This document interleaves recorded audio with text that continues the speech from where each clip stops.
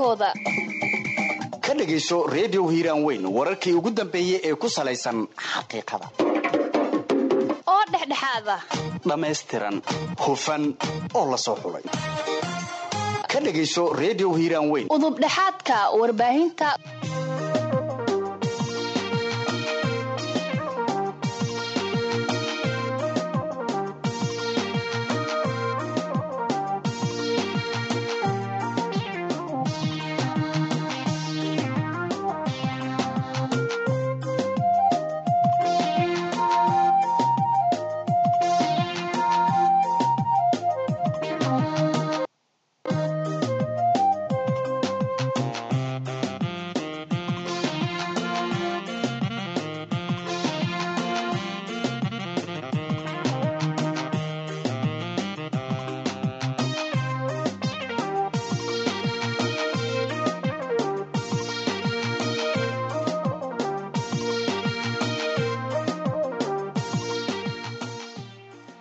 bismillahi raxmaani raxiim duhur wanaagsan dhegaystayaal meel kastoo aad joogtaan ku soo dhawaada war wixii dalka iyo daafaha caalamka naga soo gaaray.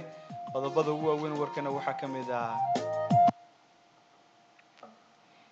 Saraakiil sare oo ku geeriyootay weerar lagu qaaday saldhigyo ay ciidamada dowladda ku lahaayeen gobolka shabeellada hoose. Madaxweynaha jamhuuriyadda federaalk soomaaliya oo ka hadlay weerar dad badan lagu laayay oo ka dhacay waddanka ruushka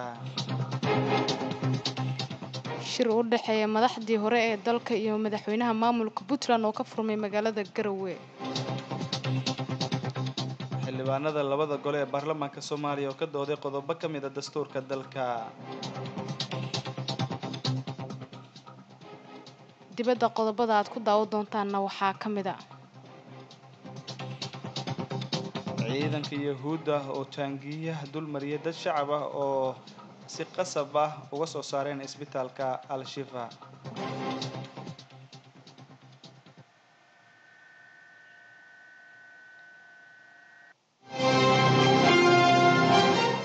Soo gudbinta warkan waxaa idiin suuro geliyey shirkadda isgaadhsiinta somtel.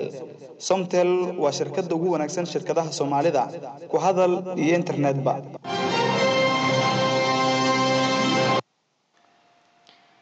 Isku soo laabasho wanaagsan wanaagsan dhegeystayaal mar kale hiiraan weyn ayaad dhegaysanaysaan qodobadii koobanna ayaad dhegaysateen ku soo dhawaada qodobadaasi kuwo kale oo faahfaahsan.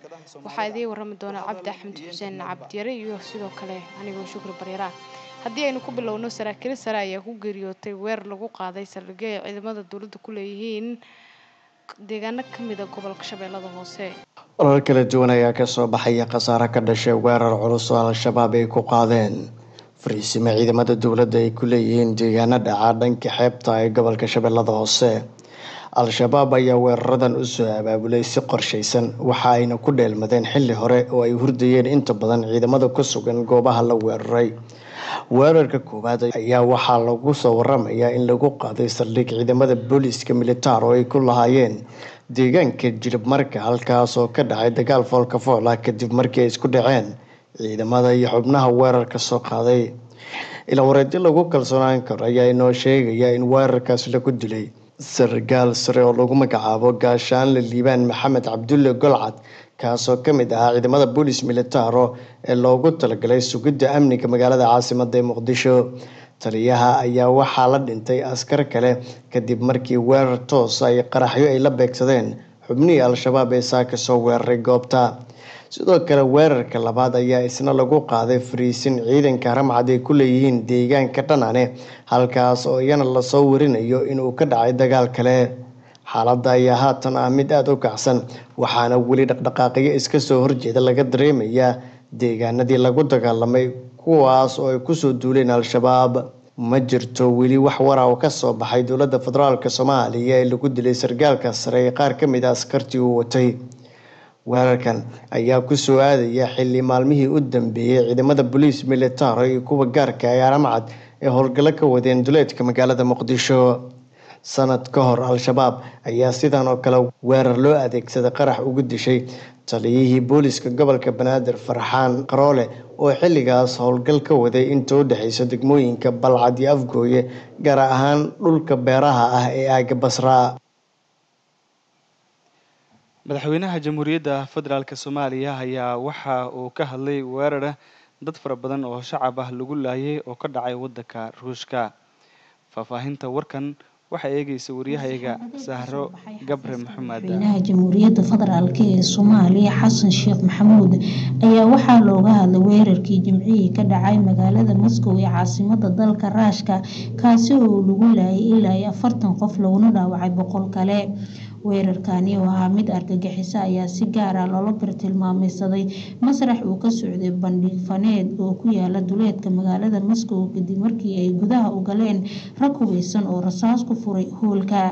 Xasan sheekh ayaa sheegay in dowladii shacabka soomaaliyeed ay aada ugu xun yihiin weerarkaasi islamarkaana ay cambaareynayaan nooc kasta oo argagixiso sidoo kale madaxweynaha soomaaliya ayaa sheegay in xilliga adag ay garab taagan yihiin dowladii iyo shacabka raashka oo khasaaro xoog leh kala kulmay dhacdadaasi. Dowlada soomaaliya xilligani adag waxay garab taagan tahay shacabka raashka waxayna diidan tahay dhammaan noocyada rabshadaha ee argagixiso ayaa lagu yiri. War-saxaafadeed ka soo baxay xafiiska madaxweynaha soomaaliya dableyda weerarka fulisay ayaa waxay soo xiratay dharka militariga waxayna kadib gashay dhismo ayagoo furay rasaas xoogan markaana tuuray bambagacmeedyo mas'uuliyiinta ayaa sheegay in baaritaan argagixiso la bilaabay islamarkaana madaxweynaha dalka raashka ah valadimir putin si joogtaa lala socodsiinayo xaalada dhinaca kale kooxda daacish ayaa sheegatay mas'uuliyadda weerarkani dagaalyahanada daacish ayaa weeraray isku imaatan ballaaran oo ka socday duleedka caasimada raashka ee moscow. Ayay kooxdani ku tiri bayaan ay soo dhigtay barteeda telegaraamka bayaanka daacish ayaa lagu sheegay in dagaalyahanada ay si nabad ah ay ugu laabteen saldhigyadooda. Sahre gabre maxamed oo ay mahadsan tahay waxaa goordhow madaxtooyada maamulka puntland ka furmay shir xasaasi ah oo u dhexeeya madaxweynihii hore ee soomaaliya. Waa madaxdii hore ee soomaaliya oo garow ku sugan iyo madaxweynaha maamulka puntland saciid cabdulaahi deni. Shirkan oo looga hadlayo xaalada siyaasadeed ee dalka iyo marxalada uu hadda dalka marayo gaar ahaan wax kabedelka dastuurka waxaana shirka ka qeyb galay xildhibaano ka tirsan labada aqal ee baarlamaanka federaalk soomaaliya. Madaxda shirka ka qeyb galaysa ayaa waxaa ugu horreeya mudanayaal iyo madaxweyneyaal hore oo uu kow ka yahay madaxweyne maxamed cabdulaahi farmaajo iyo سيدوك المدحوينة شيخ شريف شيخ أحمد وحان يسيوين وغسو هرجيدان وحكا بدل كدستوركا حل اللفلة يوئن حل لبانادة لبادة أقل نوان أي ميل مريان wax kabedelka dastuurka. Shirka uga furmay magaalada garowe siyaasiyiinta ka soo horjeeda wax kabedelka dastuurka ayaa la filayaa inay ka soo saaraan warmurtiyeed ay uga soo horjeedaan in xilligan wax kabedel lagu sameeyo dastuurka. Sidoo kale waxaa markaasi la filayaa in isbahaysi ka dhana madaxweynaha jamhuuriyadda federaalk ay sameeyaan madaxdii hore iyo sidoo kale madaxweynaha puntland oo la doonaya isna in lagu soo daro isbahaysigaas xildhibaanada baarlamaanka soomaaliya ayaa waxa ay ka doodeen qaar ka mid ah cutubyada dastuurka dalka gaar ahaan xilliga ay dhacayaan doorashooyinka dalka. Yaasiin cali axmed ayaa faahfaahinaya. Iyagoo ka doodaya arrimo la xiriira dastuurka dalka xildhibaanada ayaa weli waxay ka aragtay dhiibanayaan dastuurkan iyo qodobada u baahan in wax kabedelka lagu sameeyo. Dooda adag ayaana xildhibaanadu ay ku leeyihiin xilligan xaruntooda villa hargeysa ee magaalada muqdisho. Loo soo dooranayo ee ku xusan qodobka konton iyo koowaad farqadiisa koowaad waa shan sano. Waa arrin fiican waaye. Farqadiisa labaad sidoo kaleeto doorashooyinka hay'adaha dastuuriga ah ee sida tooska ah loo soo doortay waxaa la qabanayaa hal xilli hal xilli doorasho. Waa iyadana mid fiican waaye waa soo dhaweynaa guddiga siday u soo qoreen. In dalkan hal xila la qabto doorashadiisana waa wax fiican waay qodobka konton iyo saddexaad codbixiyayaasha muwaadin kasta ee soo buuxiyey shuruudaha xeerka tilmaamayo gaarayana da-da siddeed iyo toban sano waxaan qabaa iyadana in wax laga bedelo da-da maadaama dad muslimiin aan nahay qaangeerkeennana shareecadana sheegayso inuu shan iyo toban sano uu yahay codbixiyaha ha laga dhigo da-da qaangaarka shan iyo toban sano. Qodobka codbixiyaasha markaan ka hadlay siddeed iyo toban sano waxaan rabaa tan kale inaan halkan uga faa'iidaysto maadaama xisbiyada laga hadlay laba xisbi lagu soo qoray meeshaan. Xisbiyada haddii laba xisbi laga badinaayo dadka raba inay xisbiyada ka badinaan laba xisbi. Ani waxaan qabaa haddii la badinaayo shan xisbi in laga dhigo oo shanta beelood loo qaybiyo haddii kaleeto labadan xisbi ha loo dhaafo sidooda ha ahaadaan qof walba ha iska dhex arko labada xisbi.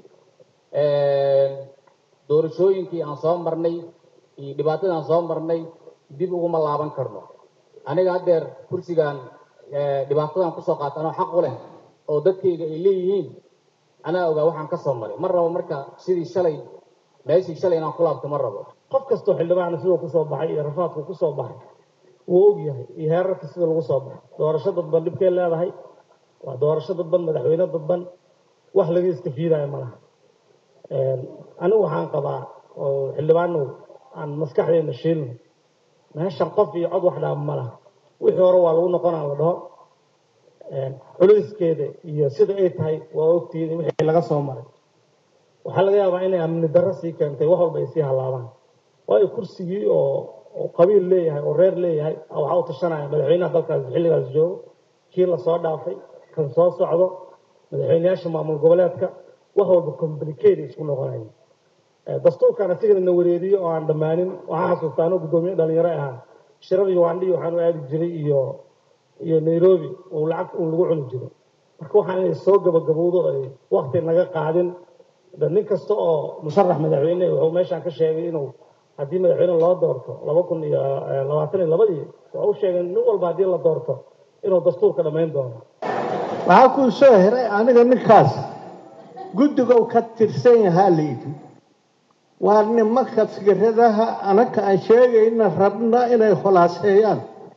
Inuu asaga dacwo kala keeno anaka naga hor keeno war. Kuwaasina waxay ahaayeen qaar ka mid ah xildhibaanada labada gole in ka badan soddon burcadbadeed soomaali ah ayaa la dhigay xabsiyada dalka hindiya kadib markii laga qabtay badda cas sida uu ku waramayo cumar muxiidiin cumar. burcadbadeeda soomaalida ee toddobaadkii hore u gacan galay ciidamada badda hindiya kadib howlgal culus oo ka dhacay xeebaha bari ee maamulka puntland burcadda oo afduub ahaan u haysatay markabka lagu magacaabo envirawin ayaa ugu dambeyn maanta la geeyey magaalada mumbai ee dalka hindiya sida ay sheegeen saraakiisha ciidamada badda ee dalkaasi markab nuuca dagaalka ayaa kooxdan geeyey magaalada mumbai kuwaasoo ay tiradoodu gaarayso ilaa iyo shan iyo soddon burcadbadeed ahaa sida laga soo xigtay war ka soo baxday ciidamada badda hindiya waxaa haatan burcadbadeeda lagu wareejiyey booliiska mumbai si xabsiga loo dhigo. Sidoo kale waxaa bilaaban doonta maxkamadeyntooda si looga qaado tallaabo adag oo sharciga waafaqsan. Kooxdan burcadbadeeda soomaalida ah ee ciidanka badda hindiya ay qabteen markabkan dagaalka ay la socdaan shan iyo soddonka burcadbadeeda ah ee la qabtay waxa ay gaareen mumbai saddex iyo labaatanka maarso waxayna ku wareejiyeen burcadbadeeda booliiska maxalliga ah si ay u qaadaan tallaabo sharci oo dheeri ah oo waafaqsan sharciyadda hindiya gaar ahaan sharciga ka hortaga burcadbadeeda ee laba kun labaiyo labaatan ayaa lagu yiri warkaa ka soo baxay ciidanka badda ee dalka hindiya howlgalka lagu soo qabtay kooxdan ayaa qaatay ilaa iyo afartan saacadood oo gacanka hadal ah waxaana fuliyey markab dagaal oo ay caawinayaan diyaaradaha qumaatiga u kaca iyo kuwa ilaalada ah ee aan duuliyaha lahayn. Xilliga uu dagaalku dhacayay markabka ayaa ku sugnaa masaafo kun iyo afar boqol oo meelo jirta xeebta badweynta hindiya. Markabka envirawin waxaa laga leeyahay dalka bulgaariya balse ku gooshayay calanka dalka malta kaas oo burcadbadeeda soomaalida ah ka soo afduubeen biyaha caalamiga ah dhammaadkii sannadkii labadii kun iyo saddex iyo labaatankii.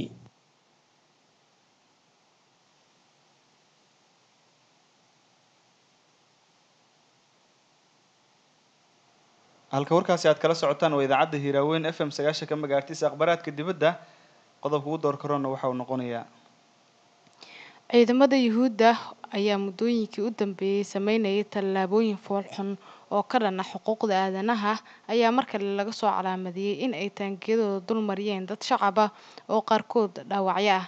Askarta yuhuudda ee ku go-doonsan isbitaalka al-shifa ayaa si qaab daran dadka markaasi bukaanada ah iyo kuwa la jooga dibadda uga saaraya isbitaalka si ay gabaad uga dhigtaan maadaama ay awoodi waayeen inay bannaanka uga baxaan balse dhinacyada waxay iska caabinta falastiiniyiinta ayaa gubay qaar ka mid ah taangiyada israa'el waxaana ciidamada yuhuudda bar kale sameeyeen in ay taangiyada dulmariyaan qaar ka mid ah dadkii ay markaasi sida awood ah u soo saareen ama uga soo bixiyeen isbitaalka ay ku jireen. Telefishinka aljaziira oo helay xogta ayaa baahiyey qaar ka mid a muuqaalada taangiyada israa'el oo dul maraya dadka rayidka ah balse arrinta la arkay ayaa ah in qaar ka mid a dadkaasi taangiyada la dulmariyey uu soo gaaray jab kaliya. Warkii duurnimo aad kala socoteen warbaahinta hiiraaweyn dhegeystayaal waa naga intaa cid alaalay ciddii uu seegana. Waxay markale dib uga daalacan karaan pageka internet ku leenahay waa hiiraaweyn dot com ama dot wararkii ugu dambeeyey ee ka dhaca gudaha dalka iyo dibadda ka dhagayso idaacadda hiiraanweyn haddii ay ku dhaafaan waxa aad dib kaga daaraca kartaa iyagoo maqal iyo qoraal ah website-ka iyaga oo ah www.hiranweyn.com ama hiiraanweyn net.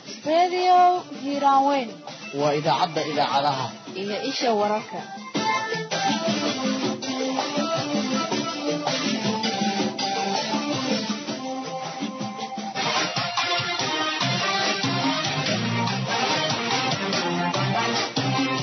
Dadka ku nool daafaha dunida waxa wararka iyo barnaamijyada ka baxa idaacadda hiiraanweyn ee magaalada beledweyne ay dib kaga dhagaysan karayaan. Barka internet